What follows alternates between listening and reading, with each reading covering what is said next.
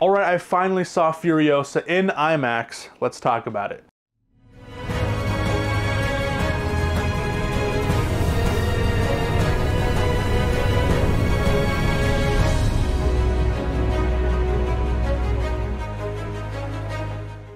What is up, everybody? After hearing all the sad stories of Furiosa bombing, I thought, you know what? I was interested in this film. I got a bunch of friends with me to watch it in IMAX on a Tuesday, so it was half off price for the tickets.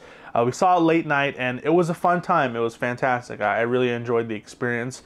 I will say um, the reason why it's bombing, I can see why. I don't want to say that these films are bro movies because it's far from it. There's a lot of smart storytelling behind them. But you know, when you cast a movie with Tom Hardy and Mel Gibson, and then the new one starring Anya Taylor Joy, it's I can see where people are coming from, but I don't think it's warranted because she does fantastic in this film. I think, you know, her being this 100 pound framed person going up against these big buff dudes, it, it can seem a little tiny bit uh, unrealistic, but again, most of the action is with guns, with explosive, with bombings in cars. So there's no real hand-to-hand combat, and when there is, she's able to use her smarts, her skills, her survival skills being taught from her mother and that kind of thing. And so it makes sense. I think the only time where I was like, "Ooh, this is Anya Taylor Joy" is when I think she's walking down like a, a like a steep hill. She's like, Ugh. so I was like, mm, okay. But for the most part, I really did enjoy the film. If you're a real big fan of Fury Road, this isn't going to be as satisfying because the problem was there was a lot of CGI in this. And even though I don't really care for CGI that much, and the first film, like the first, like the reboot, a lot of it was practical, a lot of it was filmed in, in Africa. If the original Mad Max was 60-40, this is the opposite around. Like this is 40-60, where probably 40% of it was live action and probably even less of it was live action because a lot of CGI and I will say the CGI was very apparent, but I kind of chopped it up to this is George Miller style because I also want to say that this is probably besides early Spielberg films where the high budget, big budget summer blockbuster film has a director's tinge to it. It has like you can watch this film and immediately know based on the color palettes, based on the writing that this is a George Miller film. It is a bit quirky, it is a bit, you know, silly, but I love how it's also like it's it's George Miller. Like it does not feel like those cash grabby uh, Disney, you know, live action remakes. Like, did you know the Dumbo remake was made by Tim Burton? You would have never guessed. Or that Aladdin was made by Guy Ritchie. Like, are you kid? Are you shitting me? This you can immediately tell that it's George Miller. It looks fantastic in IMAX, and I bet it's going to look so good on 4K Blu-ray. I already have the Steelbook uh, pre-ordered. I will say though that as an IMAX experience, you're definitely going to get the audio experience.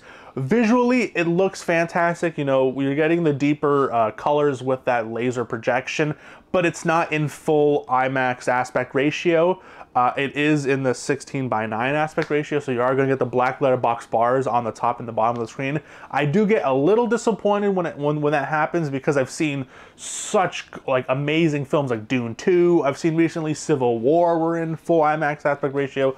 So it kind of feels weird that this wasn't in it, but again, I think maybe because there's a lot of CGI, so maybe they're trying to keep the same benchmarks when it comes to that. But going on to the action aspects of it, the sound design was fantastic. You really get the feeling of the rumbling cars. Sometimes it was too loud, like when Furiosa gets in this, like, uh, I think this Desert Rider was this all black desert, like, car so loud like it was it was starting to hurt like my ears. Like it was really loud and it's exhilarating. Like you really get that tense. But for me honestly it got a little too much because it kept going and going and going. Like when they say full throttle chaos chaos mayhem it is this it is that. But being the longest in the franchise it numbed me at a certain point when there's guns going off and there's explosions and fire and, and loud cars. I was just like, uh, uh,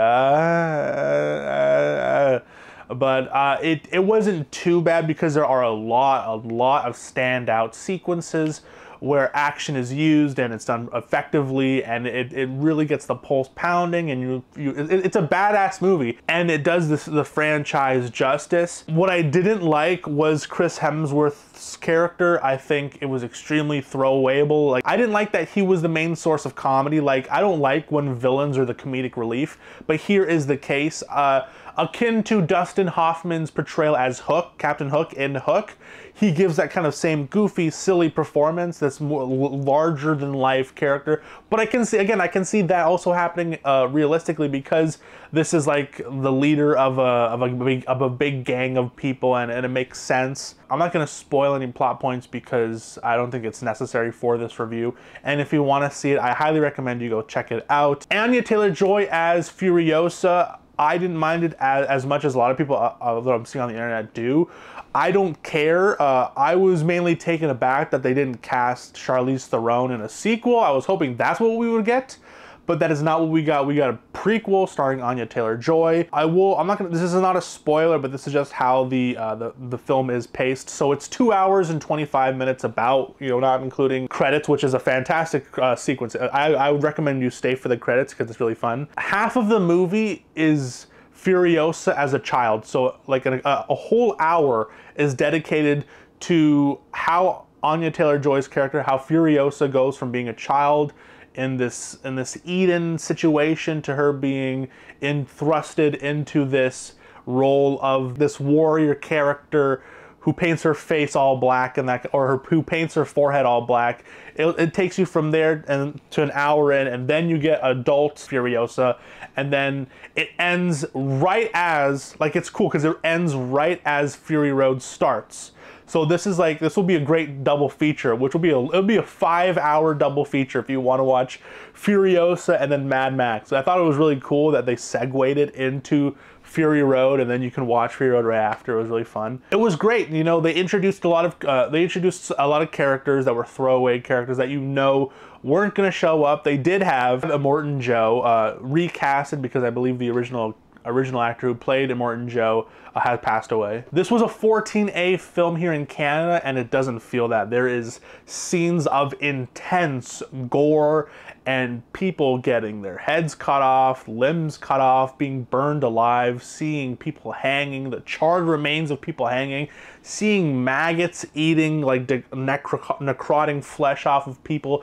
it was I was not I was surprised they did not hold punches. So you're not gonna get this like woke uh, like cash grabby film that a lot of people were expecting out of a, out of this Furiosa film. They just casted a new actress that's very popular to sell some tickets. And and Anya Taylor Joy is a fan is a fantastic actor. And she's you know portrayed herself in a lot of like big budget like like poppy mainstream films, but she's also been in things like The Northman and The Witch and those kind of things where she's shown her depth as an actress. So the, she continues it here and she's fantastic here. The dialogue, again, is cheesy as hell. It's silly, but I like the way that it's told very seriously. But the only silliness is in, again, the writing. But the, it's not like silly as in like MCU joke, joke, joke, joke, joke here. It's like, it's very Shakespearean and it feels like a play. It feels like a very time as old, a tale as old as time. Like points, it was a very generic, like Bravehearty, like kind of hero story, uh, you know, having, you know, the developmental, the, the peak, the rise. All of those things are going to happen in this film, but I think it's done well. It's done really creatively. Like the thing that took me off was the CGI, going back to the CGI. It was very obvious. It what it was because it's a very stylistic film in general, but like but there's a lot of sequences that feel like a video game. CG like models were rendered really like like it doesn't like it threw me off a bit because there'll be scenes where it's just like a person like on a bike with like a green screen background and it looks really really cheesy but I think that just adds to like the quirkiness of it, and just because it is a big budget, uh, you know, summer blockbuster film, 165 or 168 million dollars, and you know that's getting up there. Because if it was like 100 million dollars, I'd be like, okay, yeah, sure. Because you know, when it gets to almost that 200 million range, that's like the Spider-Man era, like that kind of thing. So. Uh, but I think it, it, it, does it well because it is so stylistic and, and, it just adds to the movie. There's a lot of scenes where the camera will be placed in a certain row, but the post production and the editor would like go in and shake it around and stuff with the editing software, and it looked really weird. Threw me off a bit, but uh, I don't know. I wasn't a big fan of the CGI here, but I, I, don't think it really stained my experience of it. It just it feels very obvious. Like this is not going to be like this immersive film where it's like, whoa, wow, uh, this dystopian world. No, it's a very you know like it's very Fallouty. It's very Borderlandsy. Uh, if you've played those games, that's how it kind of feels. And it was a romp. It was a fun time. I'm not going to go into the characters and that kind of thing, but I just think that this is worth checking out in IMAX with the sound system, with the more richer uh, colors through the laser projection. I think you're getting your money's worth, and I would recommend it for the movie for the IMAX experience. I'm gonna give this about. Uh, an 8 out of 10. Those two marks are just for the full IMAX aspect ratio because I'm just a nut for that and I love it. Seeing it not there is a little disappointing, but again, it, I, I, it, it's it, serviced the film fine. I just would have liked that more, just to see more awesomeness, shall I say. So this gets my badass seal of approval. Uh, I'd recommend this film as a narrative, as a storytelling venue of Mad Max. I'd give this a 7 out of 10.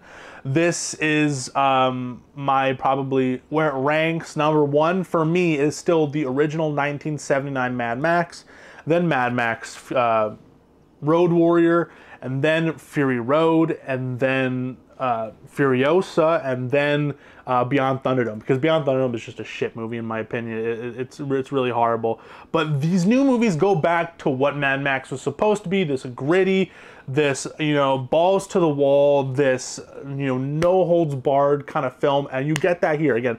Action's fantastic. You see people get burned alive. You see people get crushed by cars. You see people get heads chopped off. You see them hung. You see them getting limb from limb torn off.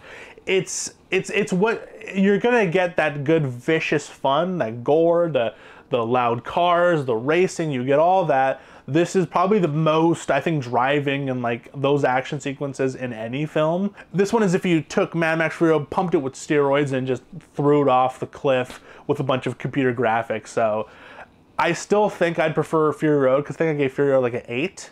This is a seven, and I think it's it's still a fun ride. It's definitely worth uh, the ticket price to see in theaters. Uh, I saw with a very fun crowd. No one was yelling, no one was talking, no one was on their phone. Everyone was respectful. Respectful.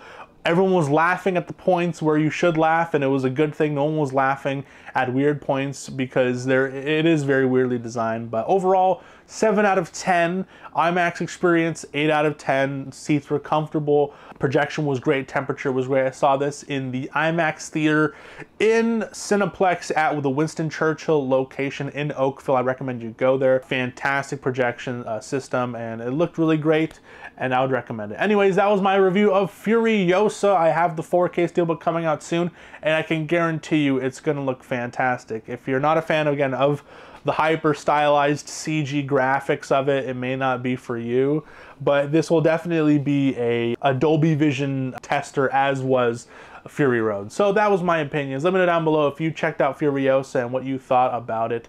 Anyways, I've been Mitch from the Mockbuster YouTube channel. Please have yourself a good day, night, evening, afternoon, morning, whenever you're watching this.